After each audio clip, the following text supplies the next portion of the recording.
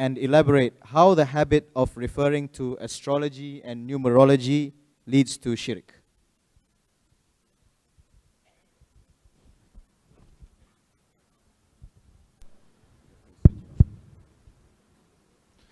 السلام عليكم ورحمة الله وبركاته.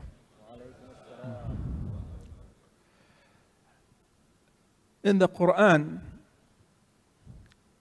Prophet Muhammad sallallahu alayhi wasallam was commanded to say,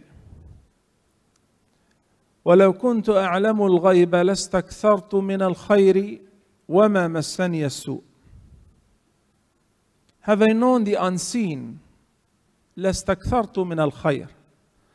I would have made all the right choices which will give me plenty of goodness. وما مسني السوء. Have I known the unseen, no harm would have touched me.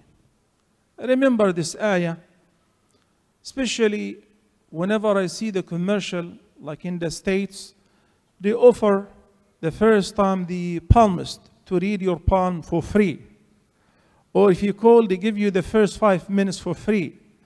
I said to myself, subhanallah, if this guy claims that he can tell the future and read the unseen of others and tell them what is good for them and what is bad and what is hidden for them, at least he could have been able to help himself.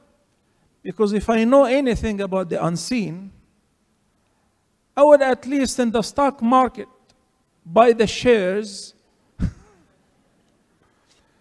which I know that tomorrow their values, their worth will double or triple. And I would sell whenever I know that tomorrow I would lose. But this is not happening. It's all wild guesses. And in Surah Al Jinn, the jinn, after listening to the recitation of the Prophet sallallahu alaihi wasallam, they said, إنا سمعنا قرآنا عجبا يهدي إلى الرشد فآمنا به ولن نشرك بربنا أحدا. Said we've heard an amazing Quran. It guides to the straight path, to the right guidance. فآمنا به. So we believed in it. And we're not going to commit shirk anymore. We will not associate with Allah any in worship anymore. Amongst their confessions in the ayah, وأنا كنا نقعد منها مقاعد للسمع فمن يستمع الآن يجد له شهابا رصدا We used to take seats in the heaven, in the worldly heaven, when Allah the Almighty will give the commands to the angels to execute them. Somebody will be born, somebody will die, somebody will have an accident. So the jinn used to overhear the writing of the angels.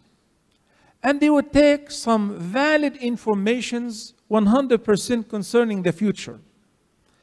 Then they will share it with one of the, the Kohan, astrologists, palmists, fortune tellers, soothsayers, you name it. فيكذبون معها مئة كذبة. If they share something concerning the future, which is true because they heard the angels writing that they have to execute this command of Allah subhanahu wa ta'ala. Allah the Almighty ordered them to do it. So when they take this information and they share it with this fortune teller, and he announces that an earthquake measures that much will hit the city or this town, or this team would win the Super Bowl, or this wrestler would win the game. And it is true. So that people will believe in this person that he knows the future, he knows the unseen. And it's a human nature.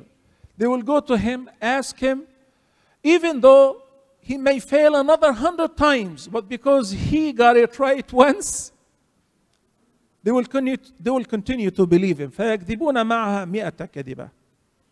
That's why the Prophet ﷺ says, whoever visits a kahin, a soothsayer, and he believes in what he says, فقد not only أشرك, he has indeed كفر بما أنزل على محمد.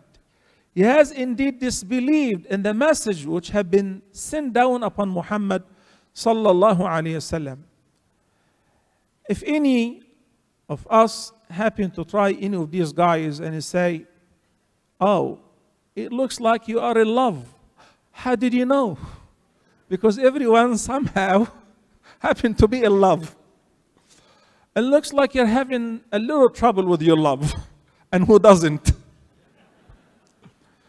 Um, at work, your boss is giving you a hard time. And whose boss is not giving him a hard time? So these informations are common informations. When people trust the soothsayers, the fortune tellers, they are foolish. Not only that, if they are Muslims, and now if they know by now that no one knows the unseen whatsoever but Allah.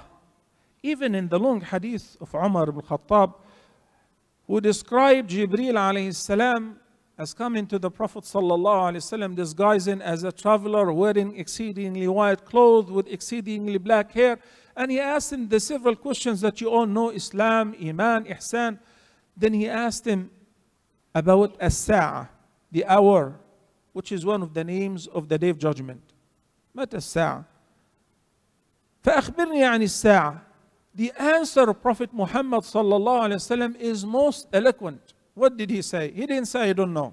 Rather, he said, neither the, the one who's been questioned about it knows no better than the questioner.